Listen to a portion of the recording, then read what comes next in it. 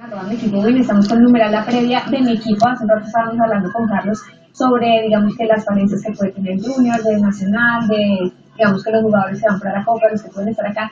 Quisiera preguntarles a ellos, aunque no sean hinchas de Nacional o de Junior, ¿cuál es el talón de Aquiles de Junior y cuál es el talón de Aquiles del Atlético Nacional para esta?